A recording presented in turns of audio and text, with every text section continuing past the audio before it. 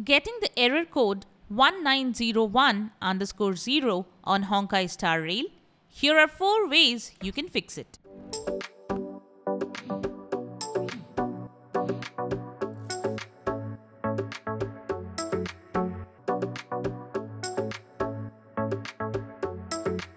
Before we move forward, do us a favor by subscribing to our channel and liking this video.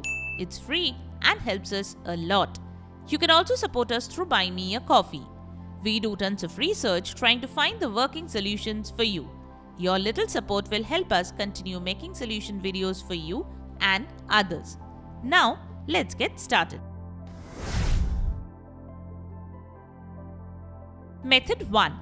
If you're facing this issue on your mobile, then the first thing you can do is turn off private DNS. Open settings and search for private DNS in the search section. Once you see it, tap on it. Select the off option. Method 2. If you're using any VPN, then make sure to disable it while running this game. VPNs can prevent the game from verifying the game files. For Windows users, you can type VPN in the search bar and select the top result. Disable both the toggles under VPN connections.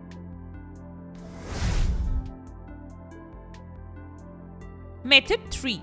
The next thing you can do is change to a different internet. If you are on Wi-Fi, then shift to mobile internet or another Wi-Fi and see if that solves the issue.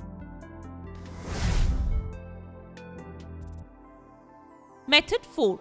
The next thing you can do is reset your router. If this is happening only while you're connected to your router, then try resetting the router and see if that fixes the issue. Most routers have a reset button. Press and hold that for a couple of seconds for it to reset. If you don't have the reset button, then turn off router, unplug it from the power and keep it like that for 10 to 15 minutes. Reconnect it to the power after 15 minutes and turn it on. So that's it.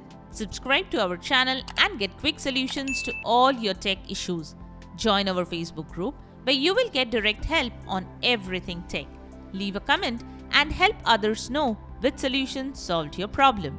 Support our dedicated team of troubleshooters and editors directly through Buy Me a Coffee.